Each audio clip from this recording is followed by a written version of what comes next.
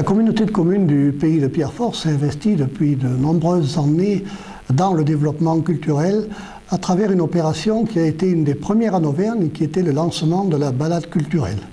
La balade culturelle permettait d'amener la culture en campagne dans tous les villages de l'ensemble de la communauté de communes.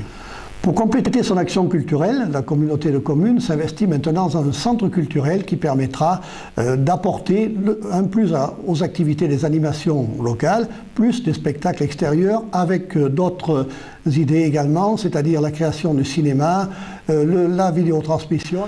Après avoir investi 350 000 euros hors taxes pour l'aménagement de ce lieu culturel, la communauté de communes souhaite, sollicite l'aide de l'Europe pour aménager ce centre culturel à travers des équipements concernant le son, concernant l'image, la vidéoprojection, afin que cette salle remplisse de multiples fonctions au service de la culture de notre secteur.